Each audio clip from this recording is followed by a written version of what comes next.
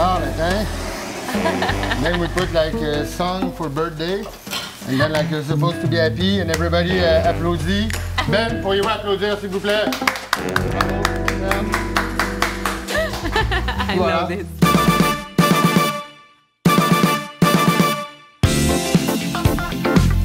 Las formas más interesantes de conocer una ciudad es a través de su comida.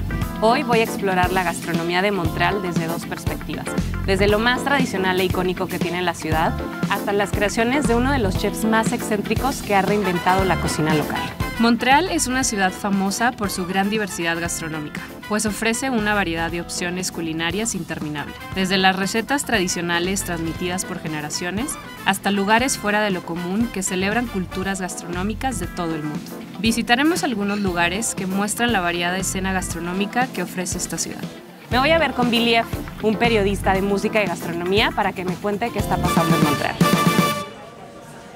I think that we got really good at just kind of like taking a bit of, of everything we like from every culture, and then also with like the massive influx of immigration that we've had in the last hundred years. And in food in particular, having this cultural diversity, do you see that translated in the places that you have, or do you see a more traditional take on, on food in general? People always want to try new things. We really like to, to have a mishmash of, of everything that anyone has to bring to the plate. And is it true that Leonard Cohen lived right next to where we are right now? Yeah, so he lived right uh, across the street, and so he used to come here a lot. I'm not sure which one was his chair, but you know, there's a little plaque with his chair somewhere. Um, but yeah, so he lived right across there. He'd come here for his coffee and breakfast in the morning. Cada ciudad en el mundo tiene ciertos alimentos y platos que las ponen en el radar de los amantes de la comida. En el caso de Montreal es el bagel, y a pesar de que en otras ciudades también se prepara, hay algo en su sabor, su color y su textura que lo hace distinto a todos los demás. Estoy caminando a Saint Viateur, donde quiero que me cuenten qué hace especial el estilo Montreal de hacer bagels y ojalá me dejen preparar uno.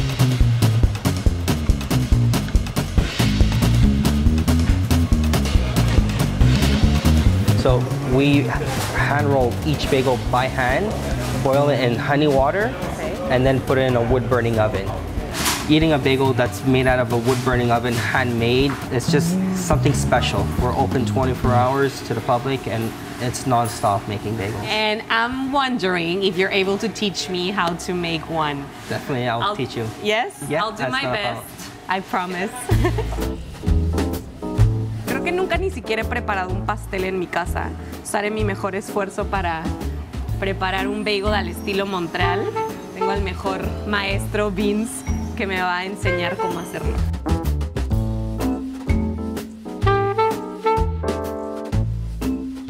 How do we do this? Okay, so the way we start making our bagel, you're starting with your left hand. Ajá. You put on the strip about an inch after the edge. Okay. And you press with your full hand. Press one, you go one, two. And then with your right hand, you do the same thing. You Okay. go one, two. So your strip is gonna be nice and even. Okay. Then you wrap it around your knuckles. You're ripping it with your left thumb. Okay. A little bit more loose. and then you you close the bagel. And that's that's it. Ah, So ok. bagel, we do a bagel Es más difícil de lo que parece, se los prometo. Once they're done over here, we just seed them and then we line them up on boards. Okay. Okay. Are you ready? Yes, I'm ready. Okay.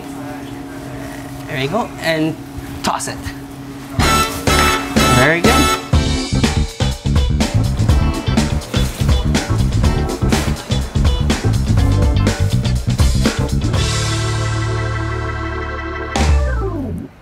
El poutine es el platillo quebequense por excelencia.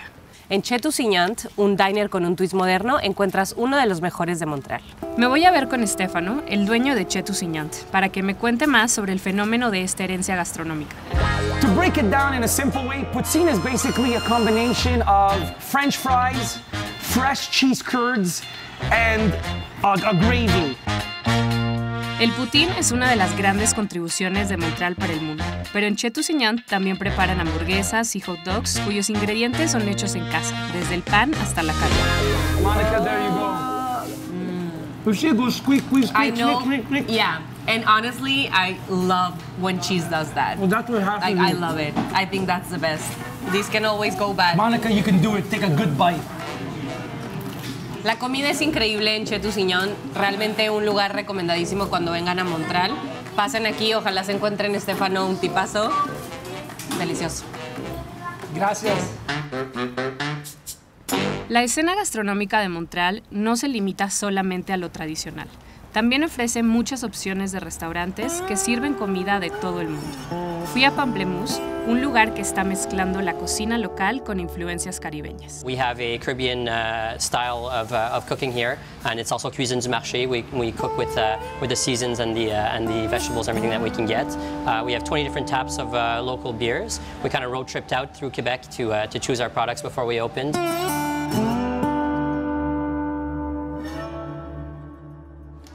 No. Oigan, not that bad. That's a lot of...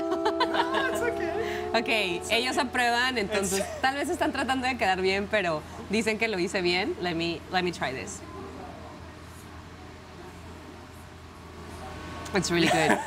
It's really good. So we wanted to take the opportunity to do something a little bit different. Um, I actually grew up in the Caribbean. I grew up in the Bahamas, so um, uh, I wanted to bring a little bit of that with me as well, along with some of my my own culinary experience. And so, uh, kind of my philosophy behind food is to take something that's already good. If you just do the bare minimum to it, take advantage of the bright colors and the fresh flavors that are available to us, it's going to be good. Usualmente soy muy escéptica de la comida en otros lugares porque la neta como mexicanos tenemos un paraíso gastronómico, pero Montreal y Canadá en general ha sido una sorpresa muy, muy agradable. Montreal Plaza es uno de los restaurantes más esperados en la ciudad. Un lugar con los platos más excéntricos y creativos, donde la gente se siente bienvenida por un servicio festivo y único.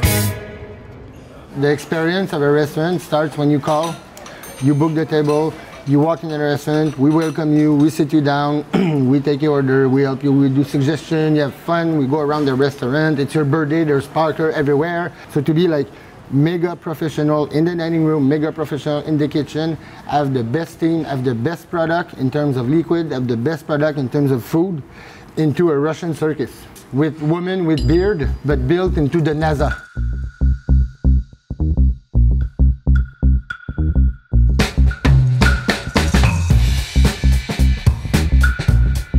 In the back we have the production kitchen. In the front we have like the more of the sending kitchen. Some of the more delicate, complicated dishes like the dinosaur dish is happening in the back. Look, I made you a gorilla tuna. On it like this. Can put a bit of soy, it's even fun. Mm. Gorilla I love tuna. it. You're it's always- always easier to eat on a NAS than on a flat plate. This is how we do celebrate the birthday. It might burn your hair, but it should be fine. Okay, Well, it's all worth it. no, wait, wait, wait, wait, wait, wait, baby. I'm sure you have good my, insurance. my 30th birthday is coming, so it's worth it. Ah, like that. then we put like a song for birthday. And then like you're supposed to be happy and everybody uh, applaudit. Ben, pourriez-vous applaudir s'il vous plaît? Bravo, superbe. There's everything to make party here. Todos los lugares que conocí, más que solo vender comida, cuentan grandes historias. Desde cómo empezó un negocio familiar que ha pasado por generaciones, hasta las ideas más locas que se le ocurren a uno de los personajes más excéntricos de la ciudad.